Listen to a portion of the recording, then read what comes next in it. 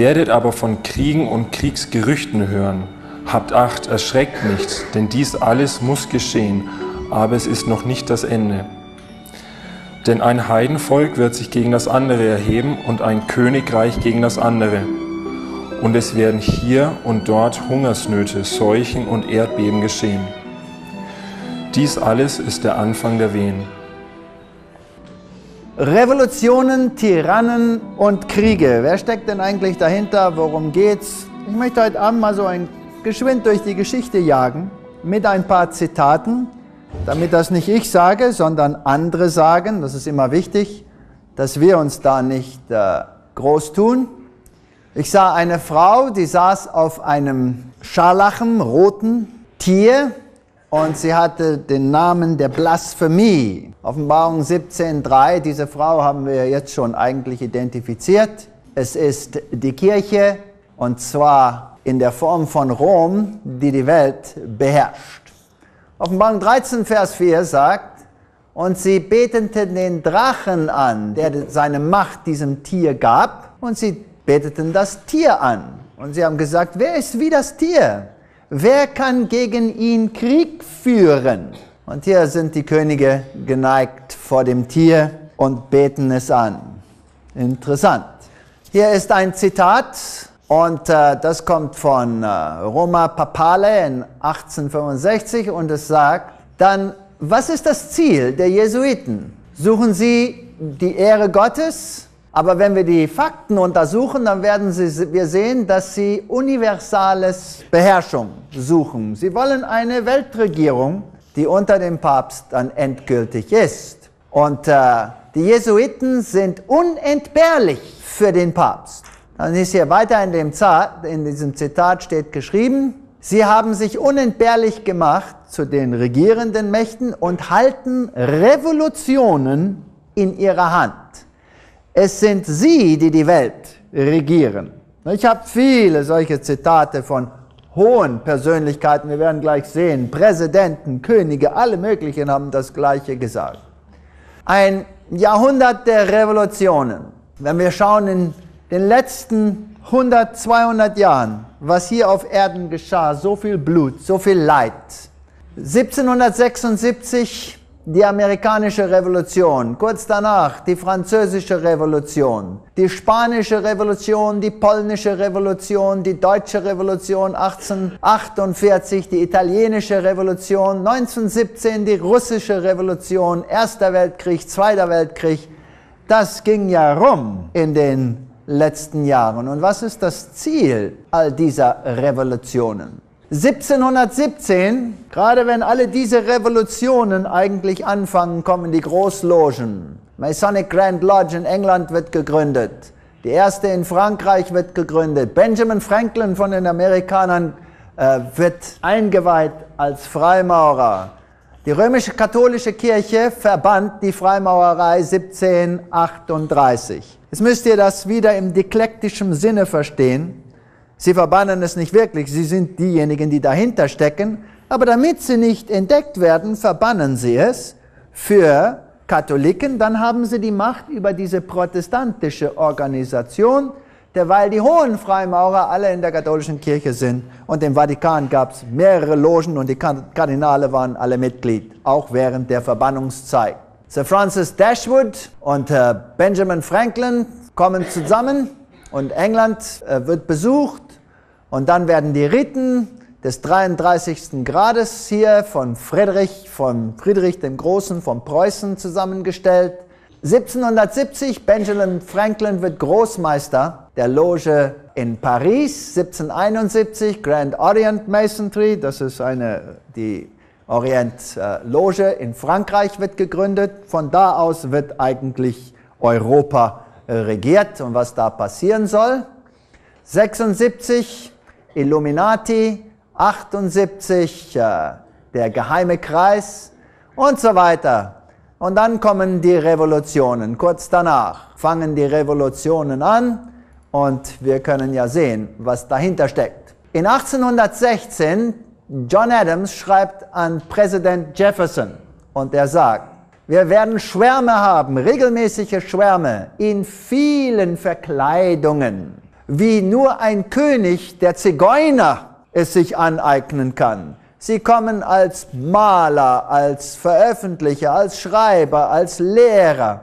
Sie werden, das sind Männer, über die die ewige Verdammnis und die Hölle verbreitet ist, wartet auf sie. Diese Society of Loyola, die Jesuiten. Sie haben schon gewusst, wer steckt hinter all diesen Kriegen. Samuel Morse hat das Gleiche gesagt, das haben wir ja schon gesehen.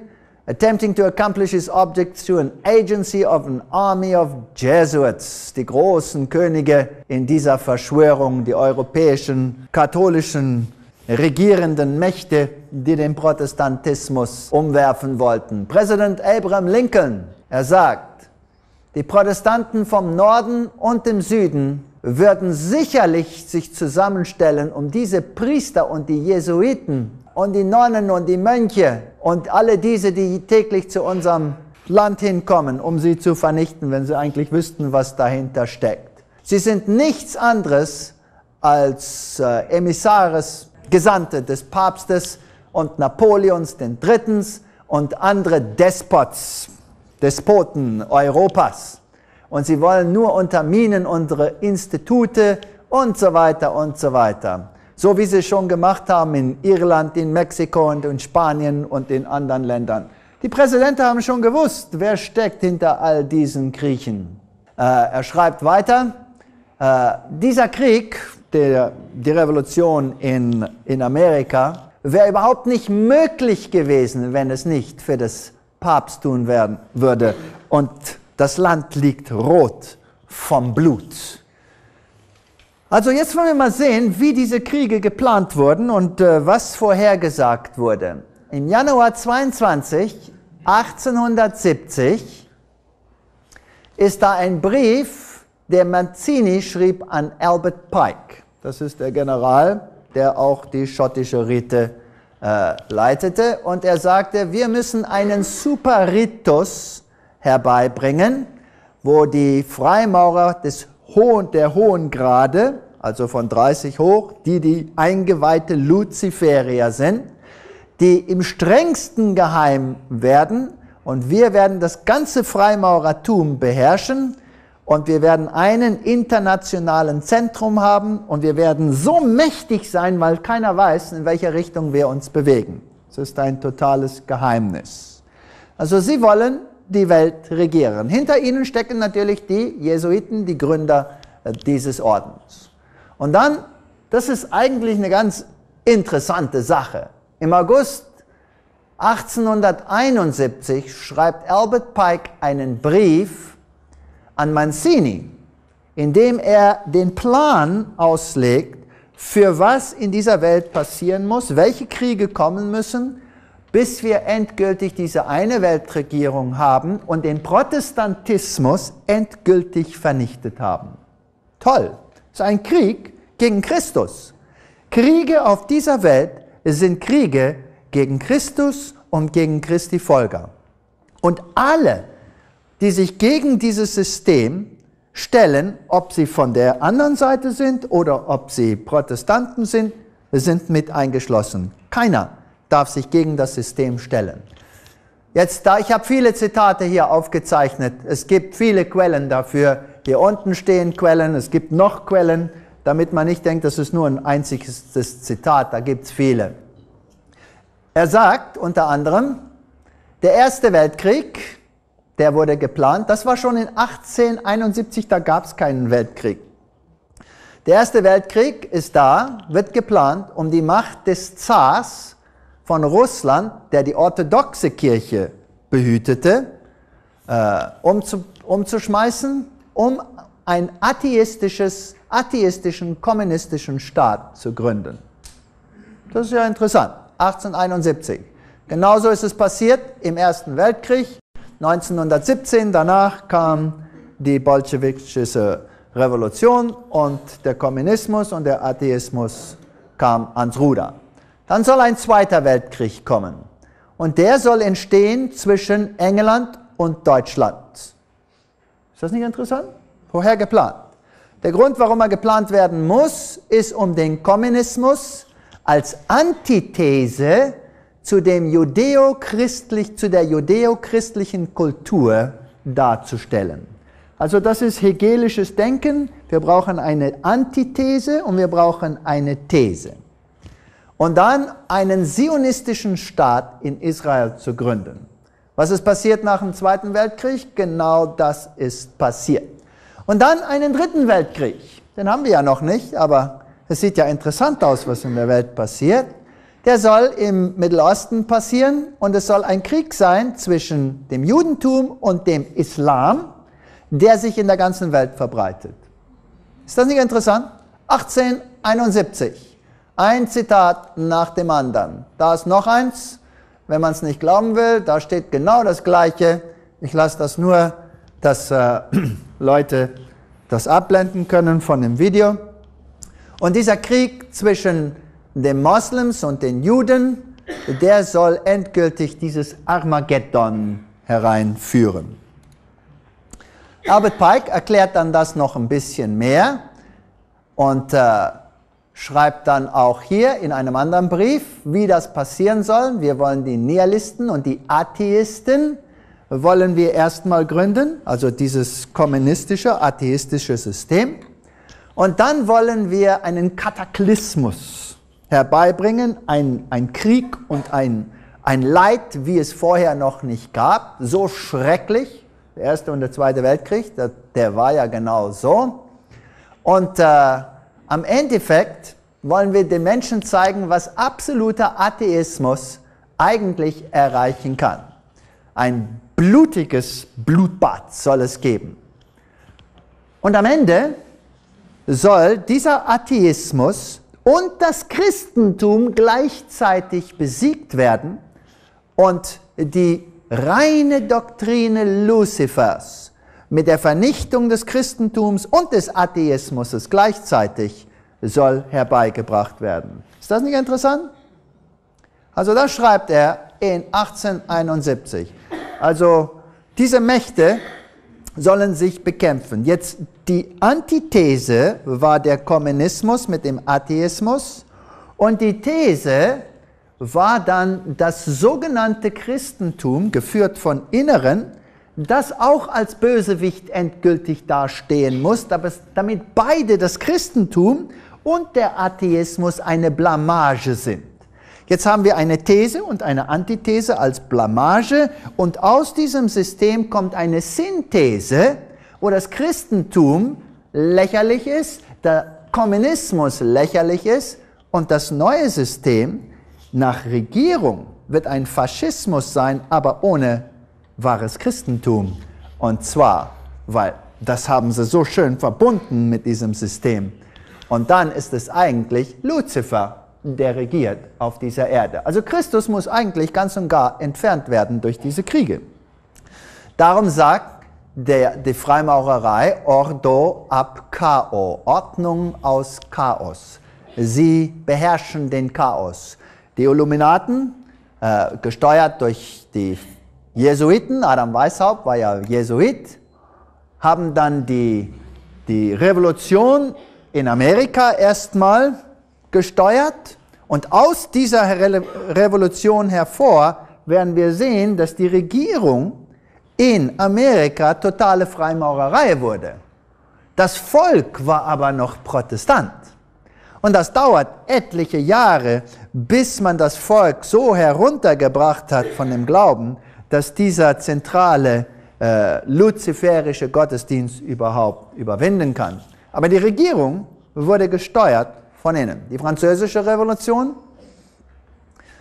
die Bastille wurde gestürmt, das Königshaus, das Königshaus hatte die Jesuiten verbannt, das wird vernichtet, Liberty wird Königin, sie, oder sie wird Göttin, hier ist die Göttin äh, Reason, hm, wieder vergessen.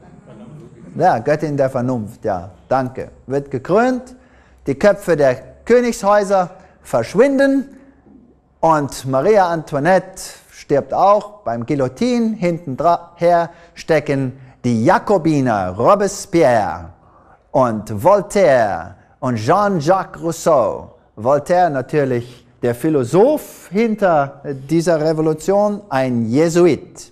und er stellt sich als Atheist dar. Natürlich ist er kein Atheist, er ist ein Jesuit und die These, die er darstellt, die Antithese, die aufgebaut werden soll, äh, er spielt nur eine Rolle. Und aus dieser französischen Revolution kommt das Manifest der Menschenrechte. Jetzt haben sie die Frechheit, um hier ein paar Symbole einzubauen, die wirklich echt toll sind. Erstmal werden die Menschenrechte als zwei Tafeln dargestellt. Das ist im Gegensatz zu Gottes Wort. Eine nähere Betrachtung sehen wir das Auge mit dem Dreieck und die Freimaurer sagen ja, es ist das Auge Osiris, Luzifers. Wir haben die Schlange mit dem Mund, Schwanz im Mund, Symbol von vielen Firmen heute, sehr viele Firmen. Und dann den Jakobiner Hut da und dann ein interessantes Ding hier mit so einem Spieß dadurch. Wenn wir es ein bisschen größer machen, dann sehen wir wieder dieses äh, Spieß hier, diesen Spieß hier, das ist ein Bündel Stäbe mit einem Spieß durch, manchmal mit Spieß, manchmal mit Achse, mit Beil. Und äh, das ist ein Fascia. Das haben wir schon gestern genannt. Ein Fascia, das heißt, das ist ein faschistisches Denken. Und dann natürlich dieser kleine Hut hier, also Faschismus und dieser Hut der Jakobiner und die Schlange, die das Leben gibt. Also the Phrygian Cap, der Jakobiner Hut von der französischen Revolution. Wo kommt der her, dieser Hut? Da brauchen wir nur ein bisschen suchen und da werden wir sehen, dass das Mithraismus ist. Und Mithraismus ist eingeweihter Katholizismus. Mithra, der Sonnengott, Lucifer, er besiegt hier den Bullen, aber dieser Bulle wird besiegt mit unreinen Tieren. Da ist ein Hund, der mithilft, da ist eine Schlange, die mithilft und das Skorpion piekst, naja, gerade da in die Geschlechtsteile hinein. Und so besiegt Mitra den Bullen. Es ist eigentlich ein Symbol des Sieges Satans über Christus. Schrecklich. Und er hat einen Hut auf und wenn wir den von der Seite betrachten, dann sehen wir, dass das dieser Hut Mithras ist der gleiche Hut, den die französische Revolution gebraucht hat, ist also Mithraismus, eingeweihte Religion, Luziferismus. Eigentlich kann man es nach den Symbolen sehen. Vorher hatte Chores auch so ein äh, Dekret gegeben, aber die französische Revolution, schrecklich. Es ist interessant, dass binnen, innen der katholischen Kirche, in der katholischen Kirche gab es auch einen Kampf. Es gab viele Katholiken, und ich glaube, heute gibt es noch viele Katholiken. Viele. Und der Herr hat viele gute Menschen in der katholischen Kirche, die unwissend diese Dinge äh, erleben müssen rund um sie. Denn während dieses Kampfes zwischen der Reformation und der katholischen Kirche gab es viele in der katholischen Kirche, auch hohe Würdigkeitsträger in der katholischen Kirche, die glaubten, dass wir die Bibel und die Bibel alleine als Maßstab haben mussten. Es war ein großer Kampf bei dem Konzil zu Trier und das kommt in einem anderen Vortrag, wenn ich sagen, warum der Kampf so auslief, wie er auslief. Das ist eine ganz interessante Sache. Aber da waren Gegner auch in der katholischen Kirche und dieses luziferische System ist immer reifer und reifer und reifer geworden. Die innen Eingeweihten haben sich selber auch bekämpft in diesem System. Und dann die Freimaurer mussten dann auch eingreifen, die Jesuiten, und haben das Papsttum, das offizielle Papsttum beendigt, denn das Papsttum hatte die Jesuiten auch verbannt. Stellt euch das mal vor, die hatten ihren eigenen Orden verbannt, abgeschafft. Da gab es Krieg. Und 1798 wurde Papst Pius dann entthront äh, durch Napoleon und das Papsttum empfing eine tödliche Wunde. 1804, äh, der neue Papst sieht, wie Napoleon sich krönt. 1808, Napoleon nimmt die Vatikanstaate und 1848, Mancini äh, greift Rom an und Papst Pius ist im Exil. 1850 ist er wieder am Ruder Und hier wird er gefangen genommen durch Berthier, dem französischen General. Und hier ist ein Zitat von Emmanuel M. Josephen, äh, amerikanischer äh, Physician, Arzt und Historiker. Er sagt, Weishaupt und seine Jesuiten äh, haben des, das Einkommen des Vatikans abgeschnitten durch die französische Revolution und sie haben den Papst ins Gefängnis in Avignon geschmissen. Warum? Weil der Jesuitenorden wiederhergestellt werden musste. Er steht ja für dieses zentrale luziferische System. Dieser jesuitische Krieg gegen den Vatikan, der wurde beendet mit dem Kongress zu Vienna und äh, durch das Geheimnis 1822 der Vertrag zu Verona. Und nach diesem Vertrag, dann wurde das jesuitische System wiederhergestellt durch Papst Pius VII. durch einen päpstlichen Bull 1814. Das ist das mächtigste Dokument, das ein Papst herausbringen kann. Und es steht geschrieben, wenn irgendeiner je wieder versuchen sollte, den Jesuiten abzuschaffen, dann wird er die Rache des allmächtigen Gottes und des heiligen Petrus und Paulus auf sich herabbringen. Also die Jesuiten sind fest am Ruder wieder seit dieser Zeit. Napoleon hat natürlich Religionsfreiheit dargestellt und äh, waren alles hohe Freimaurer. Na gut, dann gab es einen Krieg. Einen Krieg mit Russland, es gab Krieg zwischen verschiedenen Staaten in Europa, es gab Krieg mit, äh, mit England. Und endgültig durfte das System, der alles dieses herbeibrachte, abgebrochen werden und ein neues staatliches System ohne Könige mit einigen Kaisern, die noch äh, gut waren, noch drin, aber dann mehr demokratisch in all den anderen vor allem diejenigen, die total protestant regiert wurden. Bei Waterloo gab es dann einen, einen Krieg oder einen Kampf und Napoleon wurde besiegt. Ist interessant, dass auf der einen Seite die Generäle waren Michel Nier und E. von Grouchy. Das waren hochgradige Freimaurer, die Generäle von Napoleon. Auf der anderen Seite dieser Armee gab es äh, den, den General Blücher und es gab den von Schnarrenhorst und beide waren hochgradige Freimaurer. Also es waren Freimaurer gegen Freimaurer. Das war ein Spiel hier. Ihr kennt ja vielleicht noch den Ausdruck von, Ausdruck von Blücher. Ja, die gehen ran, die Blücher an der Katzbach. Kennt ihr den Ausdruck? Naja. Und wer blieb dann übrig? für den Ersten Weltkrieg, naja, da war der gute Kaiser Wilhelm, Friedrich der Große, der auch vorher da war. Wir sehen sie hier in ihrer vollen Freimaurerloge, natürlich alles Freimaurer. Jetzt sind die Freimaurer total, haben alles im Griff. Aber diese Freimaurer werden beherrscht durch die Jesuiten. In Amerika inzwischen das Weiße Haus. Amerika wächst als Großmacht. Das Weiße Haus, ach nicht das Weiße Haus, das ist das Capitol das Hauptstaatsgebäude, wird hier gebaut und zwar masonically laid. Es ist durch die Freimaurerei gebaut und wird durch die Freimaurerei beherrscht. So sieht das Kapitol aus, obendrauf eine Göttin. Und sie ist auf dem göttlichen Stuhl. Und äh, wir haben da das System dieser äh, Dreieinigkeit der Ägypter, Vater, Mutter, Kind und nicht die Dreieinigkeit, so wie sie in der Bibel ist. Die Straßen Washington werden angelegt genau nach Freimaurer äh, Symbole. Da haben wir in den Straßen gebaut den Winkel und das Maß und äh, den Kopf des Bockes und die Zahlen, wie die Straßen stehen, wie sie genannt werden. Die 13. Straße, hier steht dies Gebäude von den Freimaurern und jenes und so weiter.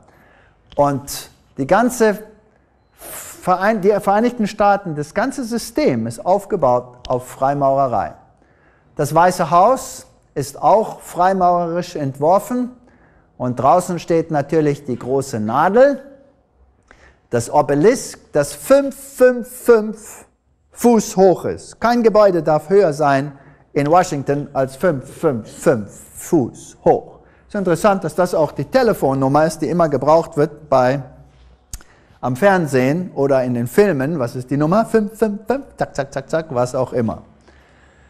Und die Enzyklopädie der Freimaurerei sagt, dieses Obelisk steht für den Phallus von Osiris und ganz eindeutig, die Freimaurer haben es gebaut, wir haben ihre, ihren Grundstein gesehen, sie sagen uns, was es ist. Es ist also nicht äh, drum zu argumentieren, es ist einfach eine Tatsache. Das Pentagon wird auch gebaut. Pentagon ist der Mittelpunkt des Pentagramms. Die Amerikaner stehen für den gehorsamen Soldat. Sie bekommen die, Namen, die, die Zahl 555. Und das europäische System, denn die 1010 sind ja Europa, beherrschen auch Amerika. Amerika soll die Großmacht werden, die Polizei und die Armee. Aber die, diejenigen, die das Ruder haben, sind die 666. Das sind die Innengruppen hier von europäischem römisch-katholischem Ursprung. Es wird auch ein Geschenk gegeben an äh, Amerika, um diese Freiheit, die sie hier haben, äh, darzustellen. Und da haben wir the Statue of Liberty, Freiheit. Sie hat die Krone Mithras rundum um den Kopf. Da ist die Krone Mithras und UNESCO sagt uns genau, dass das ist, was da los ist. UNESCO hat einen Artikel rausgebracht worin sie sagen, das ist die Krone Mithras und die, Fla die Flamme ist die Flamme Luzifers. Was auch interessant ist, ist, dass diese Flamme ist auch ein Fascia, ist auch Faschismus. Hier ist der Grundstein für dieses, äh, für, für die Statue of Liberty und er ist auch freimaurerisch gelegt und es ist ein Geschenk der Freimaurerei gewesen, Texmar towering above the shimmering and polluted waters. Sie hält in ihrer Hand äh, die, das Licht und es ist ein Geschenk Frei, des Freimaurerordens und der Illuminati. Es wurde äh, gebaut, gebastelt, was auch immer, durch Frederic, Frederic Bartholdi, ein Mitglied der masonischen Lose Alsace-Lorraine in Paris das ganze Ding ist Freimaurerei, es ist ein Symbol der neuen Weltordnung. Gut. 1854 kommt Papst Pius und sagt, Maria ist die unbefleckte Empfängnis.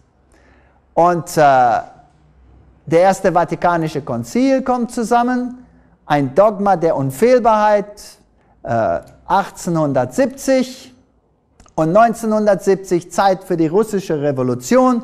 Russland wird Maria geweiht. War ja jetzt ein sogenanntes heidnisches Volk. Wir schauen mal die Zusammenhänge zwischen der französischen und dieser bolschewischen Revolution. Beide Revolutionen waren gegründet auf Freimaurerschriften Voltaire und Marx. Beide Revolutionen. Und äh, durch die Jesuiten haben sie, die Jesuiten haben die, den Kommunismus auf ihren Reduktionen in Paraguay äh, geprüft, vorher und dann eingeführt in, äh, in Russland. Beide Revolutionen haben die Staatskirche hingerichtet, zunichte gemacht. Denn die Staatskirche in äh, Paris war gegen Jesuitenorden. Und die Dominikaner, die wurden flachgelegt. Beide Revolutionen haben die Monarchie beendet. Äh, das war die Bourbon und die Romanov-Dynastie. Beide haben die Jesuiten gebannt, verbannt vorher. Beide sind weg. Beide Revolutionen haben Republiken geformt mit absolut monarchistischen Macht. Das ist interessant. Beide Revolutionen haben den Atheismus als Staatsreligionen erklärt. Beide Revolutionen haben ein Reign of Terror gehabt. Beide Revolutionen haben militärische äh, Diktatoren gehabt, die alle Gegenstände vernichteten. Das war ja, wow, wie viele Menschen da umgekommen sind. Und äh, das Kommunist, kommunistische Manifesta, bringt eigentlich wieder zurück den Feudalstaat, Feudalism, äh, des, der Päpste des Mittelalters. Wir sollen also alle wieder runter auf diese Stufe, wo es nur zwei Gruppen gibt auf Erden. Eine hohe, regierende, illuminierte Gruppe und Pöpel, die nichts haben. Der Mittelstand muss verschwinden. Und äh, man merkt ja, wie die Wirtschaften heruntergeschraubt werden, dass der Mittelstand verschwindet. Karl Marx war natürlich einer, ein Mitglied dieser, dieser Gruppen. Er gehörte zu den äh, Gruppen, die unter der Führung Weishaupts waren. Und dann geht's los. 1928, die katholische Partei in Europa hilft Adolf Hitler zur Macht. Und 1929 Pius, Papst Pius, er entbindet die katholische Partei und bringt Mussolini zur Macht. Im gleichen Jahr thront er sich als Herrscher der Welt, königlicher Herrscher der Welt. Interessant. Also 1929 glaubten sie schon, sie hatten alles im Griff. Der Vatikanstaat wird wieder gegründet, jetzt voll unter dieser Innengruppe Kontrolle, absoluter Kontrolle der Luziferier. Ohne, und der kleinste Staat der Welt wird wieder gegründet während des Lateranvertrags. Und die Geschichte kennen wir ja, was da passiert ist. 34 Jugoslawien wird die Ustashi gegründet und König Alexandria von Jugoslawien wird, wird ermordet und dann Kroatien, katholischer Staat, wird unabhängig und dann gibt es Krieg. Jetzt der Papst, Pius hier, der war damals noch nicht der Papst, der war Eugenio Pacelli, der unterschreibt ein Konkordat hier mit Deutschland, 43. Da sind seine Freimaurer äh, Verwandten. Und dieser Papst, dieser Innenfreimaurer, druckt hier eine Briefmarke mit Freimaurersignalen drauf. Nicht nur das, seine Logennummer, seine Zellennummer war Nummer 13, Freimaurernummer. Und er lässt sich auch abbilden mit Freimaurergruß, so wie Anthony Sayer, Großmeister der Logen hier in London. Äh, die Päpste seitdem tragen diese Eva und Albert Mackey, der große 33 Grad Freimaurer, schreibt, dass der, der hohe Priester des Royal Arch Freimaurerei äh, trägt die Eva. Also der Papst wird ausgezeichnet hier durch das Emblem, was er trägt, als der höchste Freimaurer. Dann besucht er als Staatssekretär das Weiße Haus, wo inzwischen die Freimaurerei auch sehr stark gegründet ist und äh, zwar Präsident Roosevelt. Hier ist ein Bild von Präsident Roosevelt, so wie er mit seinen Logenbrüdern zusammenkommt. Er war äh, 33 Grad Freimaurer. Hier sehen wir den Freimaurer Handdruck und er stellt hier äh, Schreiner Freimaurer, sehr interessant, Myron Taylor an als Gesandt zum Vatikan. Also Schreiner, die schwören natürlich auf den Koran und schwören ewige Treue an Allah. Aber Allah ist natürlich der Mondgott. Also die Freimaurer, die in, in der USA als Freimaurer bekannt sind, und hier sind viele Unterlagen darüber, da braucht man nicht drüber diskutieren. Bill Clinton ist 33, Newt, Grin, Newt Gingrich, Bob Dole, Jack Kemp, uh, Storm Thurmond, Colin Powell, Jesse Helms, Barry Goldwater, Al Gore, und, und, und. Viele. Und alle, die Präsidenten waren, Barry Goldwater und so weiter. Colin Powell, alles Freimaurer. Liste nach Liste nach Liste. Wenn ihr noch ein paar in Europa haben wollt, sogar Yasser Arafat ist 33 Grad, Ronald Reagan, Michael Gorbatschow, Helmut Kohl, Shimon Peres, François Mitterrand, Yitzhak Rabin, Willy Brandt, Gerald Ford, Karl Marx, Frederick Engels, Roosevelt, Winston Churchill und so weiter und so weiter. Und da ist die Liste Kissinger, Hoover, Cecil Rhodes, Alistair Crowley, eine ganz interessante. Billy Graham, alle sind sie drauf. Lord David Owen, Plato, Jimmy Carter. Naja, wie lang braucht man die Liste noch? Königin Elisabeth ist die Königin des 300 äh, Bilderberger Komitees. Sie ist eines der höchsten da in diesem Mittelpunkt. Und noch ein paar interessante. Uh, Hillary Clinton ist Six Degree Grand Dame. Darüber werden wir in den nächsten mehr reden. Otto von Harzburg. Die Bushes natürlich sind nicht nur Freimaurer, sondern Illuminaten, Skull and Bones und so weiter. Uh, die Illuminaten-Mitglieder so, so nebenbei ist Jacob Astor, uh, McGeorge Bundy, Andrew Carnegie, Walter Freeman, Harriman, Ted Kennedy, äh, Rockefeller Senior, David Rockefeller, Lee Teng Hui und alle möglichen. Wir brauchen sie nicht alle nennen. Gut, aber die sind stolz drauf sogar. Hier sehen wir Präsident Eisenhower, der äh, Hoover hier verehrt als mit dem 33 Grad Grand Cross bei einer Zeremonie im Weißen Haus. 33. Grad. Also diese hoch, äh, hohen Freimaurer regieren nicht nur in Europa, sie regieren überall. Hier habe ich, äh, naja, das Glück gehabt, dass ich in einer Freimaurerloge hineinschlüpfen konnte mit einer großen Gruppe. Meine Frau war dabei. Sie hat da geredet mit einem, weil ich schnell alle die Freimaurerpräsidenten fotografiert habe an der Mauer. Zack, zack, zack. Und dann sind wir wieder rausgelaufen. Da sind sie alle alle angebracht als 33 Grad Freimaurer. Die letzten tun sie nie drauf, in ein paar Jahren sind die dann auch dabei.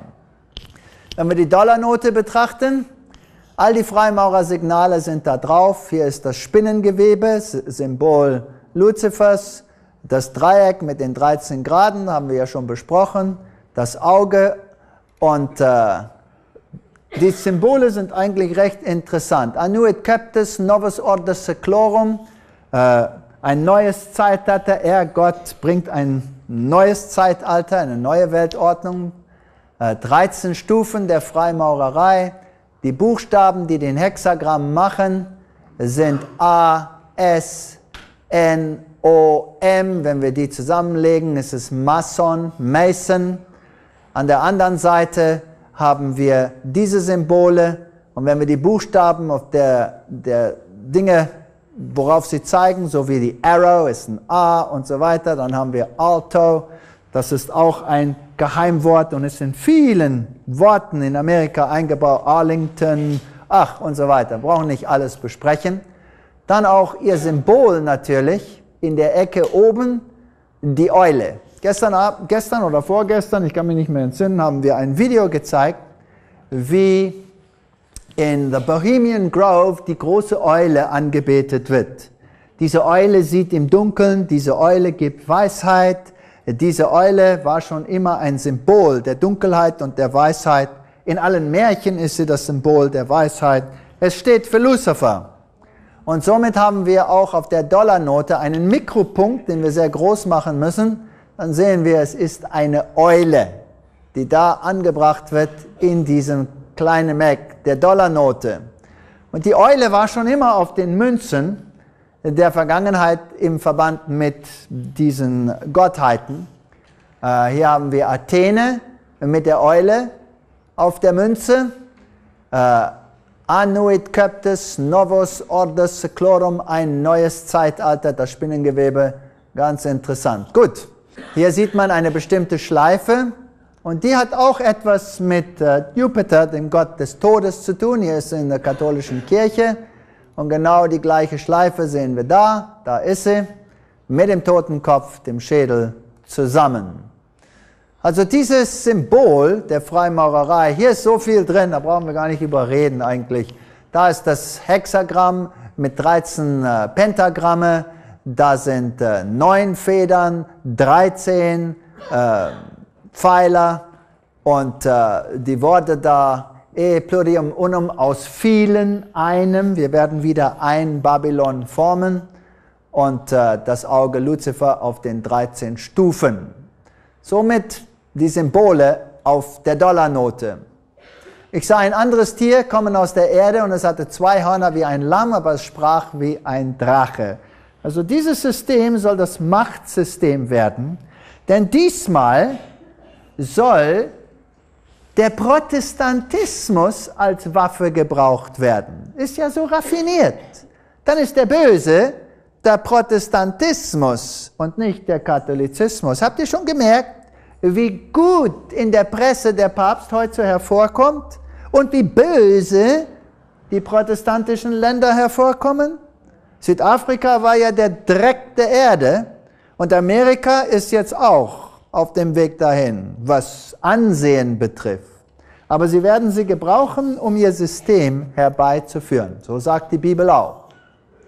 Es hat all die Autorität des ersten Tieres vor ihm und äh, die auf Erden sind, beteten das Tier an, welche die tödliche Wunde empfing. Rom wird verehrt werden am Ende, aber der Stock, den sie gebrauchen, wird Amerika sein. Also das Papsttum und das Bild des Tieres, gleiche Architektur. Ist das nicht so? Stan sollte ja wissen, ist ja Architekt. Gleiche Architektur und äh, gleiches Heidentum. Also dann wird der, der erste, der, der zweite Weltkrieg geplant. Der erste hatte dann den Zar und sein Reich aufgelöst. Der Atheismus kam hinein und die ganze orthodoxe Kirche wurde unterstellt diesem System. Der Protestantismus in Deutschland, der wurde abgesägt, wurde gen Osten geschenkt und äh, dann Atheismus hinzu und heute, wer glaubt denn noch etwas? Keiner glaubt irgendetwas mehr. Und die drei Großen, die damit beteiligt waren bei diesem Krieg, waren der liebe Winston Churchill, der, der 33 Grad Freimaurer Drude, Winston Churchill, der 33 Grad Freimaurer Roosevelt und der 33 Grad Freimaurer Stalin. Hier steht geschrieben in diesem Zitat, Stalin hat gesagt, vielen Dank für die Hilfe, die ich bekommen habe von den Vereinigten Staaten. Und die Vereinigten Staaten haben zwei Drittel unserer Industrie aufgebaut. Interessant. Das andere Drittel kam von wo? Von England. Also Amerika und England haben den ganzen bolschewistischen Staat aufgebaut. Mit Militär, allem Möglichen.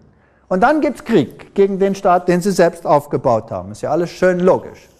Na, wenn ihr noch nicht glaubt, von Winston Churchill, da ist Winston Churchill bei seinem Drudenorden, 33 Grad Freimaurer, er ist Luciferier gewesen. Und dann kommt ein Pearl Harbor. Und äh, es wird erzählt, die armen Amerikaner sind überfallen worden, aber nichts da. Die Jesuiten hatten Japan wieder beherrscht, Amerika musste in den Krieg hinein und heute, 50 Jahre des Schweigens sind um, heute ist es Tatsache, es ist allgemein bekannt, die haben genau gewusst, dass sie angegriffen worden und werden und haben nichts gemacht, weil sie es selber geplant haben. Haben sogar den Befehl gegeben, dass alle guten Schiffe raus, nur die alten und die Amerikaner können ruhig in die Luft geblasen werden. Das macht ja nichts. Es ist ja Goyim. Es ist ja Vieh. Und dann, dann noch Protestanten obendrein. Was, was, was soll's? Putze in die Luft. Und Hitler an der anderen Seite? Ja, Hitler hat gesagt, ich habe viel von dem Jesuitenorden gelernt. Da war noch nie so etwas Großartiges auf Erden wie die Hierarchie der katholischen Kirche und ich habe sie in meine Organisation eingeführt. Die SS, das war ja Jesuitenorden im Kleinen. Himmler, äh, der der Führer von der SS äh, hat viel mit den Jesuiten zu tun gehabt, durch seinen Vater, durch seinen Bruder. Und er sagt, ich sehe, Hitler sagt, ich sehe Himmler als unseren Ignatius Loyola.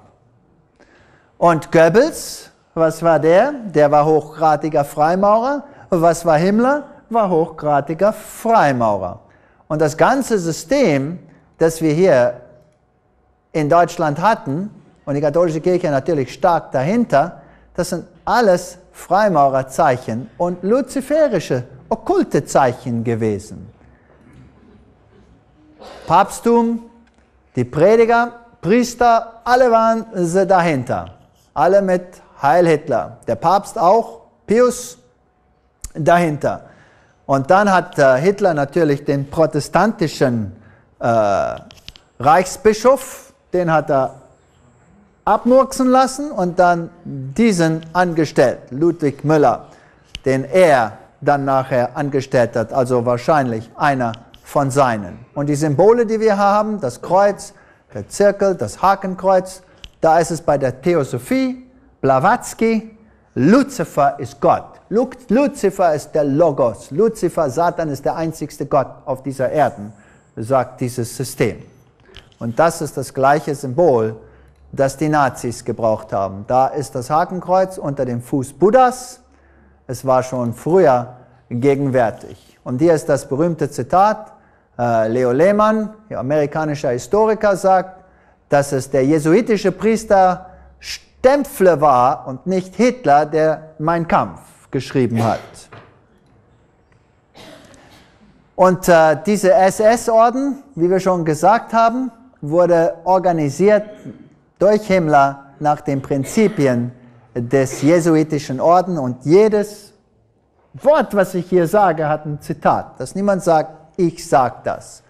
Hier ist das berühmte Zitat in Civilta Catholica, das habe ich schon gestern genannt, äh, das, der Mundstück des Jesuitenordens, wo sie sagen, Faschismus ist das Regime, das am nächsten an dem Konzept der katholischen Kirche liegt. Also Faschismus wird das endgültige System der neuen Weltordnung sein. Also müssen wir ein bisschen diesen Faschismus untersuchen. Hier ist das Fascia wieder, von dem wir sprachen.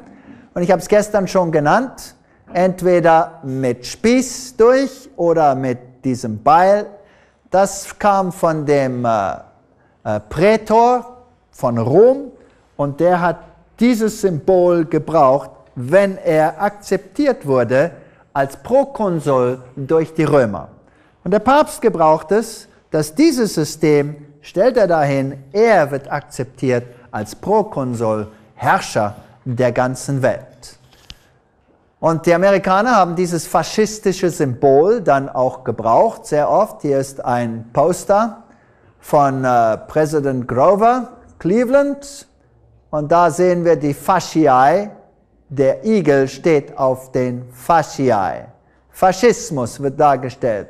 Das US-Kapitolgebäude obendrauf hat Fasciae ringsrum, unter der Kuppel, mit Kranz. Und Kranz war nur da, wenn Rom schon regierte. Und dann natürlich das berühmte Haus der Representatives in Washington hat Fasciae mit Kranz an beiden Seiten. Und wenn da eine Aussage gemacht wird, dann ist es zwischen five Fasciae. Also Amerika soll ein faschistisches System werden. Diese Demokratie, die es da gibt, die soll verschwinden. Haben sie Münzen gedrückt mit Fascia? Ja, da ist eine alte römische Münze mit Fascia. Hier ist in eine 1916 Dime Münze in Amerika mit Fascia und da ist eine goldene Dollarmünze 1936 mit Fascia. Ganz frech. Leute wissen ja sowieso nicht, was das ist. Da ist ein Präsident Lincoln bei Fasciae, da ist äh, George Washington bei Fasciae und das Insignia von der National Guard ist zwei Fasciae und natürlich die Flamme von oben. Fragen wir wieder Anthony Sutton, wie das ganze Ding zusammensteckt. Und jetzt wollen wir mal diesen Professor fragen, wie er diese Dinge sieht. America's Secret Establishment, Seite 115. Also dieser Orden, dieser geheime Orden, der gebraucht das hegelische dialektische System. Synthese, Antithese. Und Sie sprechen ja von Konfliktmanagement. Das heißt, Sie verursachen Konflikt, Revolution und managen den, bis Sie dann endgültig Kontrolle haben und das, die Lösung, die Sie suchen, endgültig herbeiführen. Und so haben sie das auch gebraucht im äh, Ersten Weltkrieg und die Nazis und haben sie gebraucht bei Nazis, bei der Sowjetunion, Nordkorea, Nordvietnam und, und, und. Und immer haben sie beide Seiten gesteuert und in der Hand gehabt. Äh, die hegelische äh, Politik ist nicht rechts und sie ist nicht links. Sie ist weder These oder Antithese. Sie soll führen zu einer Synthese. Also man kann sie nicht fragen, bist du auf dieser Seite oder auf derjenigen Seite. Präsident Woodrow Wilson hat gesagt, ein, einige der größten oder der wichtigsten Persönlichkeiten in den Vereinigten Staaten in äh, Geld und Manufacturing und so weiter, Produktion, wissen, dass es eine Macht gibt, eine organisierte Macht, so subtil, so vollkommen, so durchspeckt durch allem, dass sie besser nicht drüber sprechen, über ihren Atem. Denn wenn sie das tun würden, wäre da ein Problem für sie. Also die haben das gewusst. Also was heißt es jetzt, wenn wir zwei Parteien haben in Europa, zwei Parteien in Amerika, eine links, eine rechts und dann gibt es eine Wahl? Ich habe früher hier einen Vortrag gegeben mal und habe ich gesagt, die ganze Demokratie ist ein Witz. Da haben sich die Leute schrecklich aufgeregt, dass ich sowas sagen darf. Also ich sage es nicht mehr. Ich habe mich entschlossen, ich sage nichts. Ich lasse es einen Hegel sagen. So lese ich mal vor, was der Hegel sagt. By virtue of this partition, participation, subjective liberty and conceit with their general opinion, individuals can show themselves palpably efficacious and enjoy the satisfaction on feeling themselves to count for something. Hm, was heißt das? Wenn das, die, das Volk teilnimmt an diesem Spiel, dann fühlen sie sich gut. Und das ist auch das Einzige, was notwendig ist. Sie müssen sich gut fühlen. Ist das nicht gut? Dann sagen, sagt Hegel auch weiter, wenn so ein Gepöpel zufälligerweise was Gutes sagt, naja, dann ist es reiner Zufall und vielleicht können wir es gebrauchen, aber die ganze Demokratie ist eine Schikane. Nicht ich, Hegel. John Dewey sagt, der ist ein Hegel-Anhänger, sagt, Krieg ist der beste Weg, diese Dinge zu erreichen. Denn was muss verschwinden? Egoismus, Individualismus und die Familie. Darüber werden wir noch viel reden. Es kommen schlimme Dinge, die auf uns warten.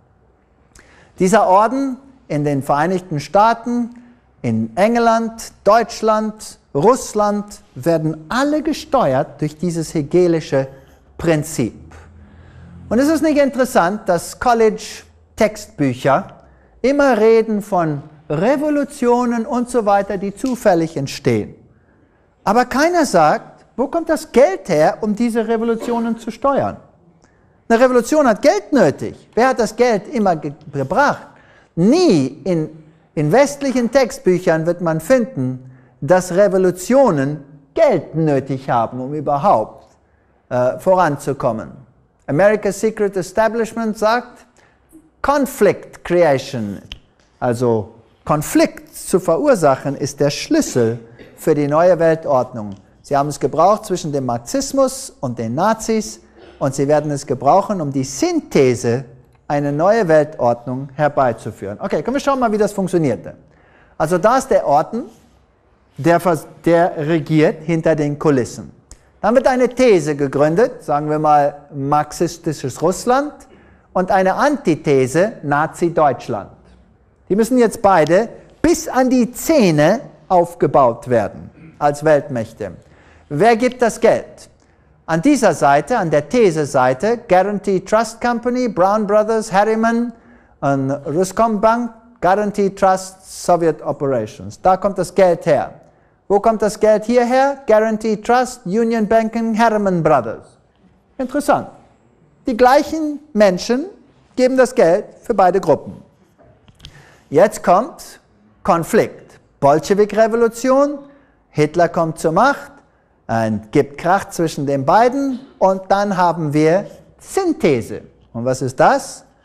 Post, Weltkrieg II, UNO als erster Schritt zur neuen Weltordnung. Macht das Sinn? Geldlich gesehen 100 Prozent. Wer könnte es anders erklären, dass die beiden Mächte durch die, beiden, durch die gleichen Gruppen finanziert wird. Und dann kommt äh, der Atomwettlauf und äh, in Russland sterben Millionen Menschen, viele. In 1922 schon waren 1,7 Millionen Tote in Russland. Die meisten waren äh, Priester der griechischen orthodoxen Kirche, Nonnen und so weiter und dann Lutheraner, äh, Reformchristen, Baptisten, Methodisten und besonders die Mennonitenchristen. Wurden alle vernichtet. Und dann die Bibel wurde verbannt natürlich und das System des Atheismus ohne protestantische Gegenwehr gegen das Papsttum wird aufgebaut.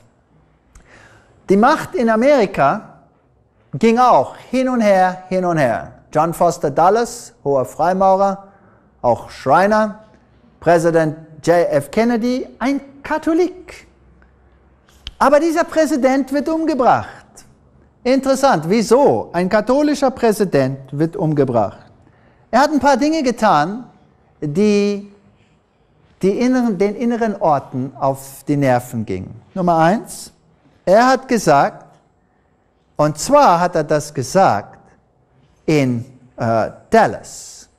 Er ist von Washington nach Dallas gefahren und hat gesagt, Kirche und Staat werden nicht zusammenarbeiten. Wow. Es ist interessant, dass George W. Bush von Dallas nach Washington gefahren ist und gesagt hat, wir werden die Lehre des Papstes in Washington einführen. Er hat es aufgehoben, genau das Gegenteil.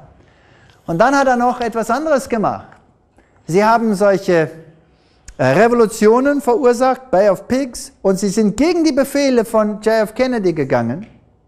Und Kennedy hat dann gesagt, ich mache die CIA kaputt. Das innere Gremium mache ich kaputt, ich übernehme sie. Das waren alles die hohen Freimaurer Innenarbeiter, die da drin waren. Und die konnten sich das nicht leisten. Auch hat er gesagt, ich nehme die Geldmacht wieder weg vom Federal Reserve, weg damit. Also musste Kennedy sterben. Äh, seine Frau äh, ist erzogen worden in einem Jesuitenkloster, so nebenbei gesagt. Und nach seinem Tode, hier wird Lyndon Johnson als Präsident äh, inauguriert und hier wird er eingeschworen. Und normalerweise wird man eingeschworen auf einer Bibel. Sie hatten eine Bibel zur Hand, haben sie aber zur Seite gelegt und haben ein katholisches Messbuch genommen und er ist auf dem katholischen Messbuch eingeschworen worden. Ist das nicht interessant? Das ist ja interessant. Was ist denn hier passiert? Also hier ist die Motorcade, hier wird äh, Präsident, äh, die Attentat findet statt, es wird behauptet, er ist von hinten geschossen durch einen Lee Harvey Oswald. Lee Harvey Oswald war natürlich Mitglied der, äh, des Geheimen Ordens. Hier sind wir in Dallas und da steht das große Schild, November 22, 63, John Fitzgerald Kennedy äh, stirbt hier in Dallas. Hier ist das Gebäude, wo er von Geschoss, erschossen wurde. Da ist das Fenster, von dem der angebliche Schuss kam. Und da kann man es besser sehen. Ich habe es etwas größer gemacht. Da ist sogar ein Schild drin, wo steht von diesem Fenster. Unten steht ein, noch ein Schild. Und da haben sie aufgezeichnet, was hier passiert ist. Und irgendein Amerikaner hat das Wort allegedly, angeblich, dick unterstrichen. Denn ich glaube, kein Amerikaner glaubt heute, dass Lee Harvey Oswald den Präsidenten erschossen hat. Ich war selber da, habe mir das gut angeguckt und ich glaube auch nicht, dass er von hinten erschossen worden konnte. Also das, das Auto kam hier in dieser Straße hoch und dann noch, sagen wir mal, hier bis in den Saal hinein. Und er ist von hinten geschossen worden von diesem Fenster da. Aber sein Kopf ging nicht nach vorne. Wenn man von hinten geschossen wird, geht der Kopf nach vorne. Der Kopf ging nach hinten und er hat sich an die Kehle gegriffen. Und die Leute, hunderte Leute, mehr wie hundert Leute, sind nicht nach da gerannt, sondern hier rüber, hier ist so ein grassy knoll, so ein, und hier links, da wo ich jetzt stehe ungefähr, war ein Zaun. Und von da aus kam ein Schuss und traf ihn in der Kehle. Und die Menschen sind hier hochgerannt, wo der Schuss herkam. Und diese 100 Augenzeugen, die behaupteten, dass der Schuss kam von the picket fence, the grassy knoll, diese 100, außer ein oder zwei, die lächerlich gemacht worden sind, sind alle ermordet worden. Alle ermordet. Alle 100 Zeugen, über 100 Zeugen tot. Interessant. Die offizielle Ausgabe, es kam ein Schuss von da. Es kamen mehrere Schüsse. Und äh, es wurde sogar gezeigt, dass Lee Harvey Oswald an diesem Tag kein Gewehr geschossen hatte. Es wurde chemisch nachgewiesen. Und äh, wenn man das nicht glaubt, ich zeige euch ein Video jetzt, da könnt ihr das sehen. Da ist der Picket Fence. Also von da aus kam der Schuss angeblich, wenn man da hochrannt. Hier unten ist die Straße, wo er entlang kam. Von da oben gesehen war Kennedy da als der Schuss krachte und die Kugel musste ihm hier vorne reingegangen sein. Und das andere Gebäude ist hier in der Straße, ein paar hundert Meter weg, oben aus dem obersten Stock. Das muss ein ganz toller äh, Schütze gewesen sein. Da ist das Kreuz auf der Straße, wo er starb. Schauen wir uns das Video einmal an und dann entschließt ihr selber. anything like that. I'm going to show you what possibly happened This took place in the middle of the day in one of the major U.S. cities, back before they had the technology that they have today. And yet they still don't know exactly what happened. There are people still questioning what happened to John Kennedy, one of the most popular presidents in America. Let's watch this clip on uh, John F. Kennedy.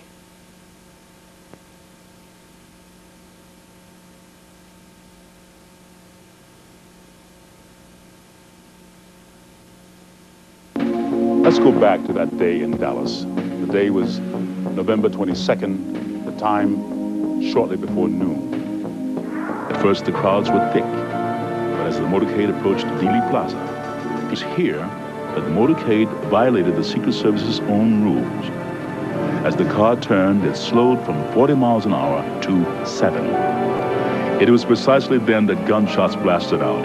For six seconds, the occupants of Kennedy's car were struck by bullets. Kennedy grasped for his throat. Kennedy's head exploded, driven with great force backwards and to the left. Then and only then did the president's car accelerate and speed off. Lyndon Johnson, the new president, ordered a federal commission to investigate the crime. The Warren Commission had given us the official version. Lee Harvey Oswald had acted alone.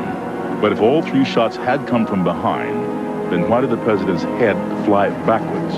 Why did so many people, including policemen, run not towards the book depository where Oswald was, but towards the picket fence? If the Warren Commission was right, why did so many witnesses claim to see something completely different from the official report?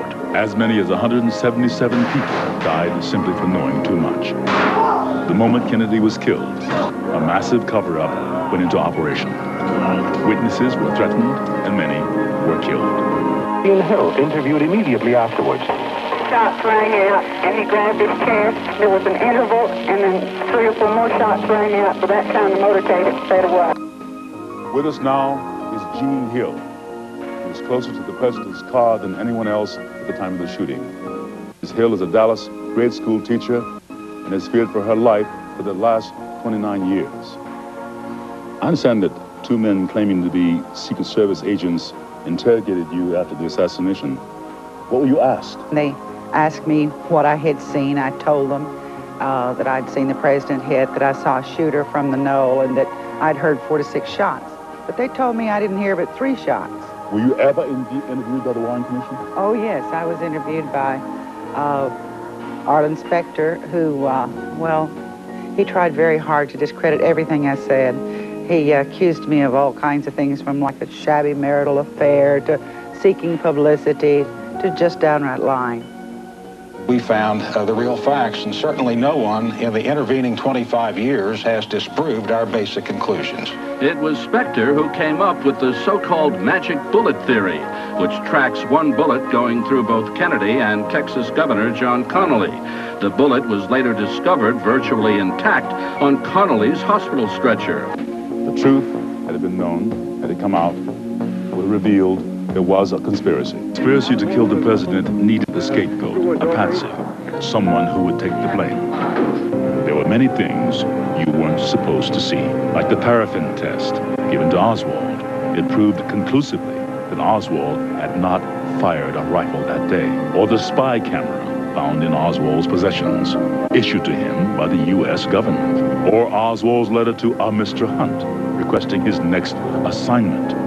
The only Hunt we know of in this case is Howard Hunt of the CIA, who shared the same office with Oswald in New Orleans. The office belonged to Guy Bannister, formerly with the FBI. Not only was this address on Oswald's supposedly pro-Castro leaflets, but the account Oswald used to print the leaflets belonged to the CIA.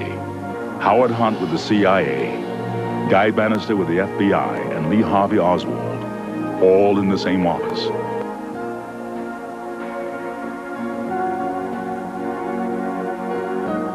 Kennedy's motorcade was arranged to make two turns, taking him directly into a triangulation.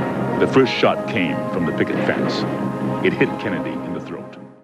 Okay, jetzt möchte ich erstmal das schnell erklären. Nicht nur ist er von vorne angeblich von diesem Zaun äh, geschossen worden, sondern der Chauffeur war CIA-Linkshändler. Und wenn ihr gut hinschaut, werdet ihr sehen, dass gleichzeitig, als diese Schüsse rauskamen, der Chauffeur eine Pistole in der Hand hat. Er dreht sich, du siehst seinen Arm über seine Schulter kommen, er schießt und du siehst, wie die Kuhle den Präsidenten trifft. Sie zeigen es dreimal, es ist schwer zu sehen, aber man sieht es recht deutlich. The was arranged to make two turns, taking him directly into a triangulation. The first shot came from the picket fence. It hit Kennedy in the throat. The second shot came from the Dow Tex building, next to the book depository. It entered Kennedy's back. The third shot came from the southwest corner of the book depository, seventh floor. It hit Connolly. The fourth shot came from the Dow Tex. It narrowly missed, hit the curb, wounding a bystander. The fifth and sixth shots were fired almost simultaneously from the depository and from the picket fence.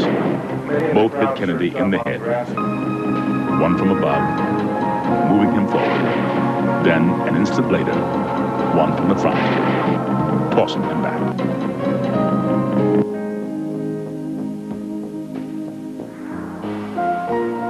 Here you see the passenger in the front turning back, looking at the president. Instead of jumping back to assist him, he turns forward. The driver's now rotating. Weapon comes into view and he fires. You'll see this repeatedly in these sequences. Kennedy's been shot in the throat. He's leaning to his left. The driver now begins to rotate. His left arm comes over his right shoulder and he fires now. Again, you see the driver rotate. You see the weapon come into view. He's rotating again. The weapon is in view. He fires. Can clearly see his head turning and the, his arm and the weapon extending into view over his right shoulder.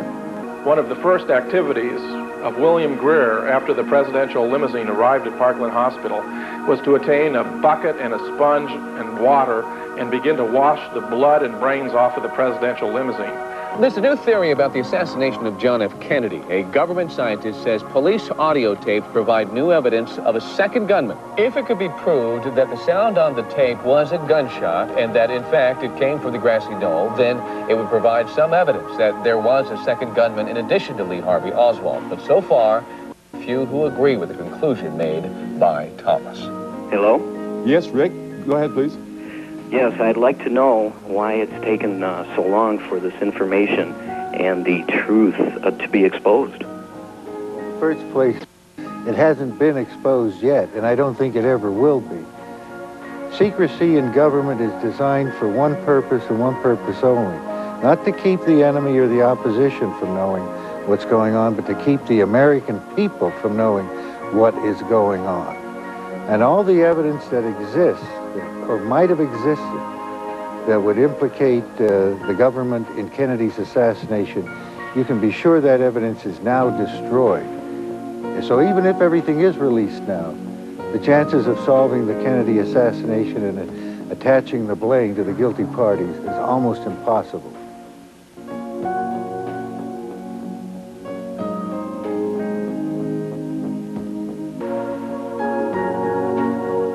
Kennedy was changing the status quo. He decided he could no longer trust the CIA.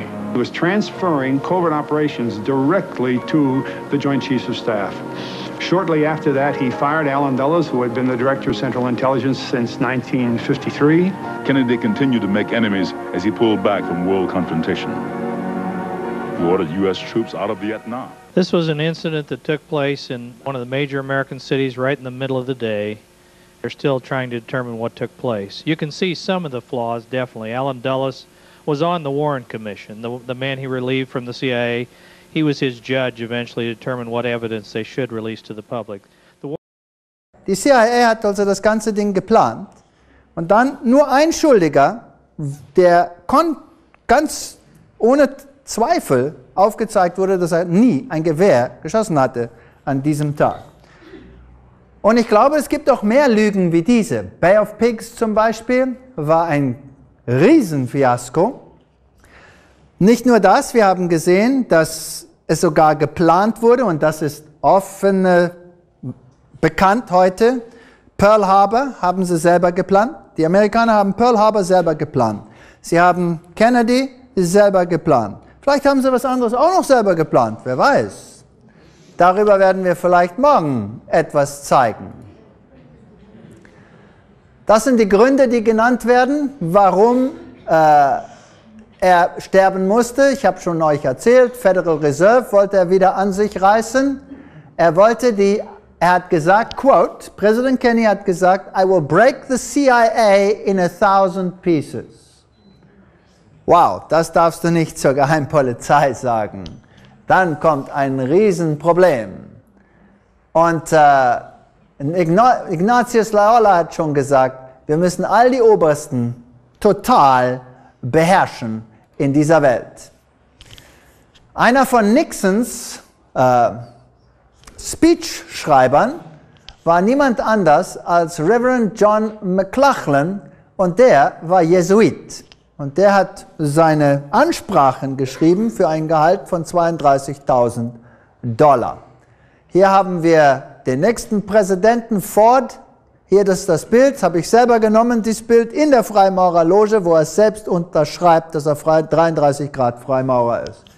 Also die ganzen Vereinigten Staaten werden durch Freimaurer und hochgradige Freimaurer beherrscht, wie wir gesehen haben, Luciferier nach dem 30. Grad.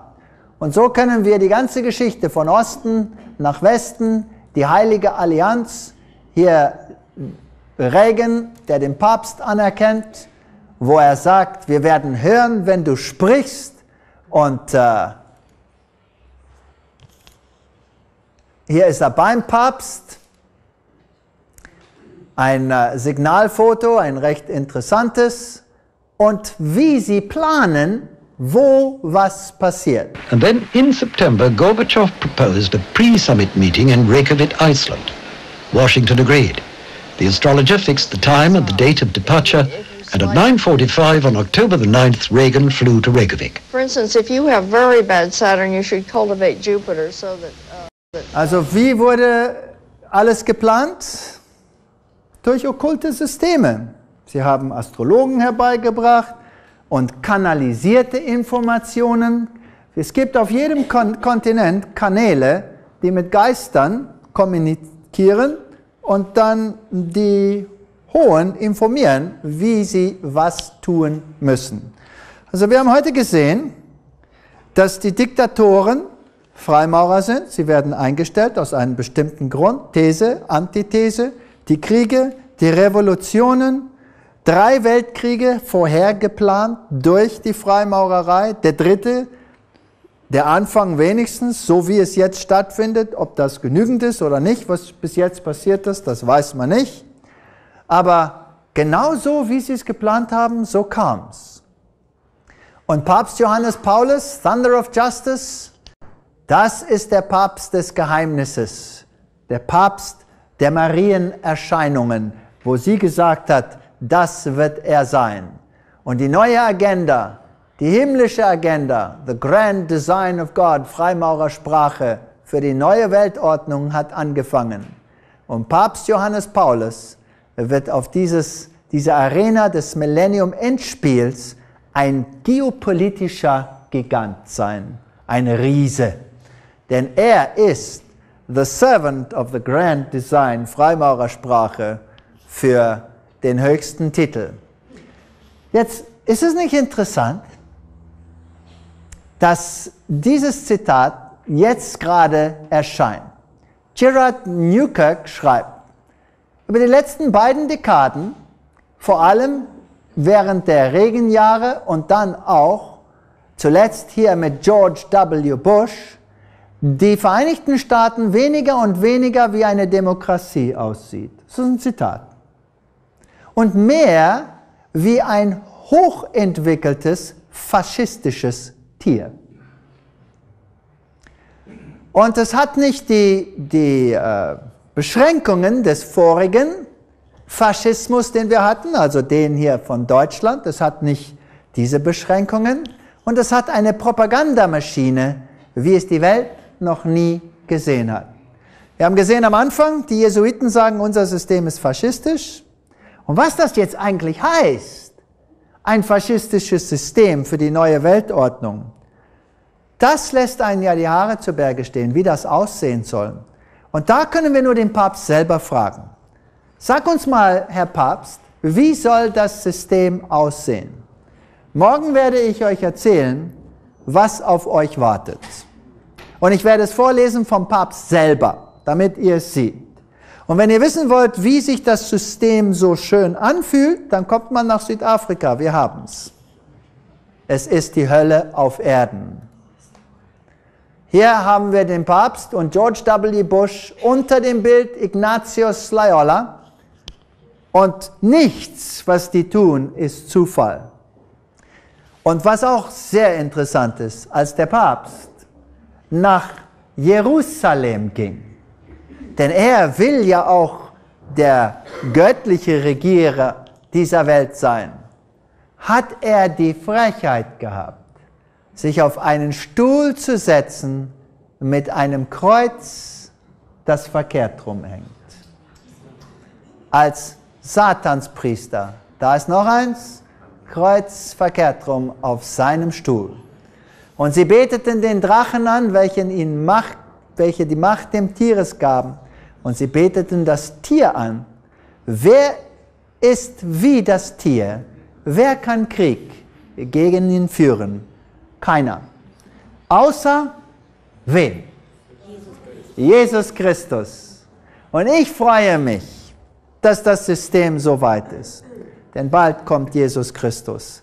Und dann wird dieses Leid, dieses, diese Heuchlerei, diese Lügensysteme, die werden verschwinden von dieser Erde für ewig. Denn die Bibel sagt, der Stein, Christus, wird das Bild treffen auf den Füßen und wird zu Ende bringen alle diese Königreiche. Und das Reich Gottes, wo es keine Tränen mehr gibt, wo es nur Wahrheit und keine Lüge mehr gibt, wird aufgestellt werden. Ich kann nicht warten auf das System. Ich kann nicht darauf warten. Ich könnte euch Geschichten erzählen von, wie es jetzt aussieht in meinem Land, wo dieses System hundertprozentig eingeführt wird. Dass, wenn man nur drüber redet, die Menschen schlackern mit den Ohren. Es ist unglaublich, was das Papsttum vorhat mit der Welt. Und morgen werde ich es euch vorlesen aus den päpstlichen Enzyklikalen Rerum Novarum, was der neue Papst dazu sagt. Wow, es ist unglaublich. Und äh, danke für Ihre Aufmerksamkeit.